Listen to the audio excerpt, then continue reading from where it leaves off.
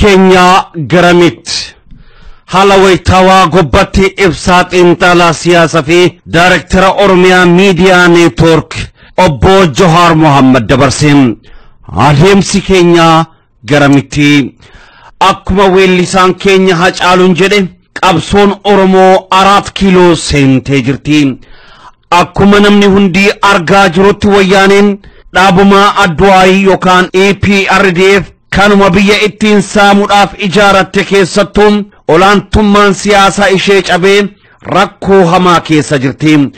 Olaantummaa siyaasaa dhabde kana deeffachuudhaaf immoo tarsiimoo garaa garaa fayyadamaa jirti. Haaluma kanaan qabsoo geggeeffamaa jiru dirree siyaasaa keessaa gara dirree waraanaa from political sphere to security geessuudhaaf yaalii godhaa jirti. Yaaliin ishee kun garuu hamma ammatti hin milkoofne. Rakkoo kana keessaaf ji'a tokkoof walakkaa oliif walgahii teessus furmaata dhabdee jirti. Walgahii koree hojii raawwachiiftuu adduwaayii yookaan EPRDF doorsisaan eegaltus akka feetetti nama jilbeeffatuuf argachuu hin dandeenye.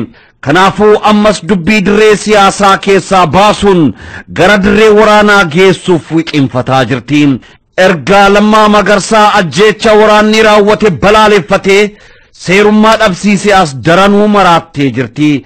Yakka waraanni ishee raawwate kanaaf sababa uumuufis harargee lixaa daaroo labuu fi hawwii guddinatti uummata nageenyaaf ficcisiiftee jirti.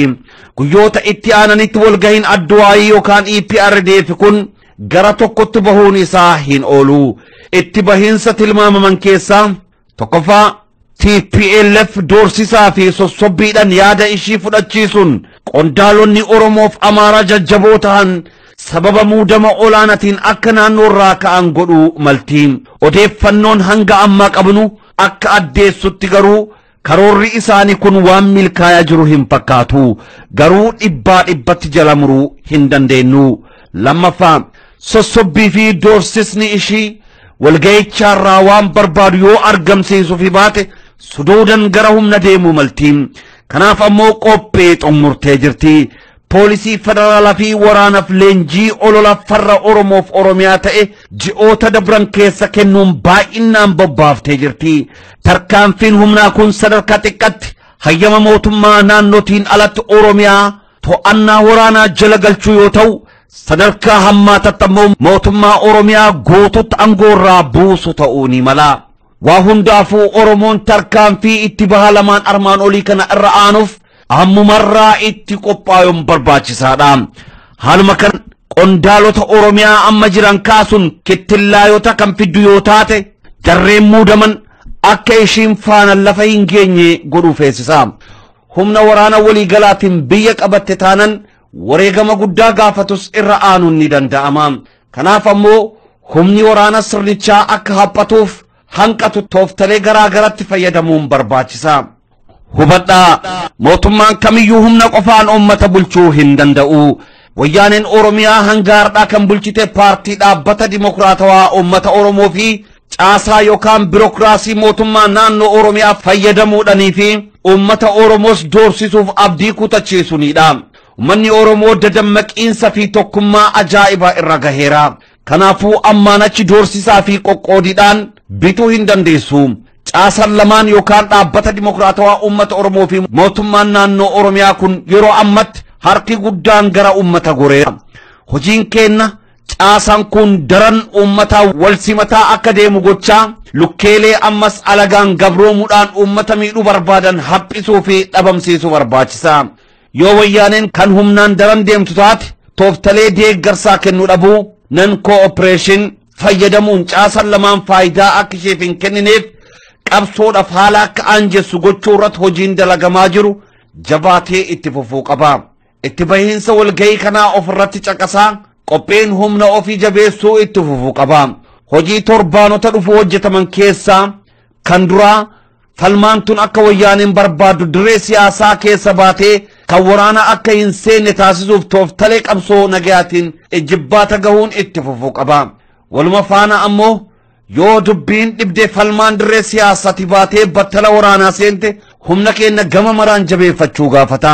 Kanarrattis hojiin eegale jabaatee itti fufuu qaba. ammaaf wantoonni of eeggannoo gochuu qabnu kanneen asii gadiitiin qondaalonni olaanoon olaantummaa siyaasaa qaban daran jabaachuun tumsa horachuu itti fufuu qaban heeraf seera jarri uummata cunqursuuf baafte itti garagalchuun afaan faajjii itti uumuun itti fufuu qaba yaalii ishiin waltajjiilee keessaa dhiibdee baasuuf gootu kamiyyuu diduun waltajjii irratti olaantummaa bilchinna yaadaf onneetiin itti fufuu qaba qaamni bulchiinsa olii hamma gaditti ummata mariisisaa hojii idilee itti fufuu qaba waluma cinatti ammoo yoo tarii jarri qondaalota olaanaa humnaan kaasutti deemte fi bulchiinsa naannichaa dhuunfatutti deemte tarkaanfii bulchiinsa laamsheessuu fudhachuuf qophaa'uu qaban qaamonni nageenya oromiyaa hojii uummata waliin ta'uun tasgabbii eegsisuu cimsuu qaban saboota nu keessa jiraniif xiyyeeffannaa addaa gochuun nageenya isaanii mirkaneessuun hedduu barbaachisaadha kana keessaa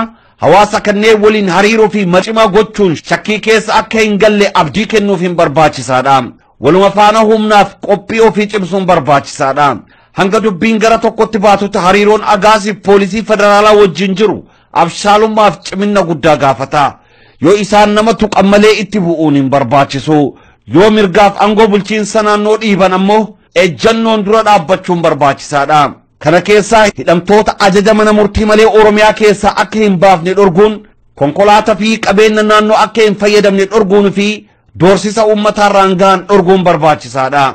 Barattoonni sadarkaa ol aanaa hundi mooratti deebi'uudhaan mooraalee dirree qabsoo yaadaaf mormii gochuu qaban. Akkuma yeroo hedduu jenne barattoonni yuunivarsiitiilee yeroo ammatti mooraa yoo turan qabsoo irra gargaaran. Barattoonni sadarkaa duraaf lammaffas barnoota isaanii guututti addaan kutuu hin qaban. Dareetti deddeebi'uun gorsaaf qajeelfama barsiisota irraa fudhachuu itti fufuu qabu.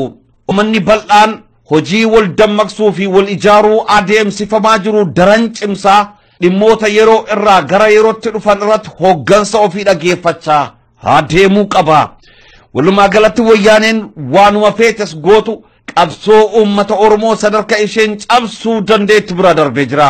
Kanaafuu qaamoleen armaan olitti eeraman hundi isaanii ciminnaaf qindoominaan hojjechuun yoo isaan kan humnaanis of dura adeemuuf kan yaadan ta'e Oromiyaa guutuu keessatti sochii bulchiinsaaf dinagdee laamsheessuudhaan karoorri ishiin humna waraana fayyadamuudhaan olaantummaa dirree siyaasaa deebiftee dhuunfachuuf gootu akka fashalu gochuun ni danda'ama. Waa hundaafuu qabsoon bakka murteessaa geessee jirti. Wal caqasaa deemna.